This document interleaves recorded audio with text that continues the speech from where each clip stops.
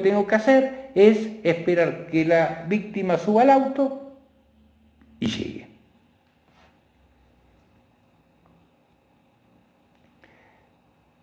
En estos casos, en que estamos frente a una tentativa acabada, se le exige al sujeto un plus, que es que haga algo para evitar que ese resultado se produzca. No puede decir, ay, me arrepentí, desisto, me voy.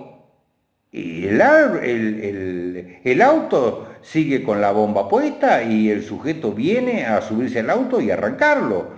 Ese desistimiento no sirve para nada, por más voluntario y perfecto que sea. Entonces necesita algo más, que es un plus, una conducta tendiente a que a evitar que el resultado se produzca. Entonces, en estos casos de tentativa acabada, el sujeto caso del ejemplo, debe ir, desarmar la bomba o sacarla del, del auto para evitar que de esa manera explote y vuele por los aires el sujeto pasivo.